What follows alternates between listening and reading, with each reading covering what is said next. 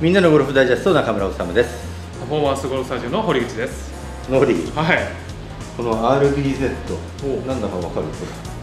これ会社ありましたよね。もうもちろん、ええ。あのあロケットボールですね、えーフェアウッドがね、はい。すごい良かったりとかドライバーもねもう松山君もフェアウェイ使ってましたね。ねでそれのはい。新しいモデルなんですけどまあテーラメイドのホームページから、アウトレット商品として 出ていてですね、まあ、実売でね1万円しないぐらい。もちろんヘッドだけじゃなくてシャフトもついた状態で売ってるんですよ。見た目1万円には見えないなこれ。めちゃくちゃ高級感なんかマットでうんすごくオーソドックスな感じ、1万円には決して見えない。見えない。ですよね、まあ、フルチタンかな、うん。フルチタンだね。ですよねまあじゃあちょっと。見てみます。はい。面白い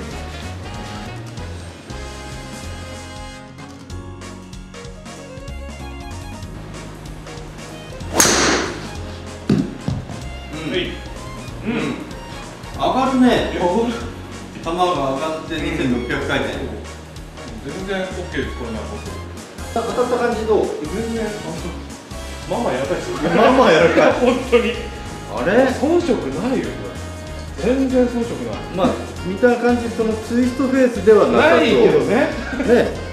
そこは入ってなさそうだけど、まあ本当オーソドックスなチタンのヘッドで、なかなかいいです。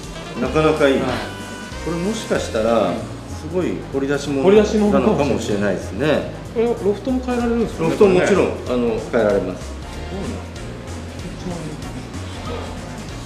これでもいいかもしれない。ちょっと打たしてこれでもいいかもしれない。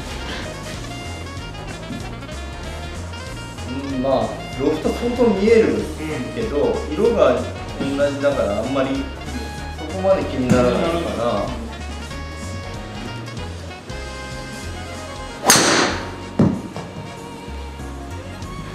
いやこれ直進性高いんじゃない？本当に本当に2348まあ所属も出てるし高さが出ていいかな。打感も比較的柔らかい。柔らかいですよね あれ？あれ？シャフトはオジックっていう、はい。マトリックス。ですマトリックス。のね。ね。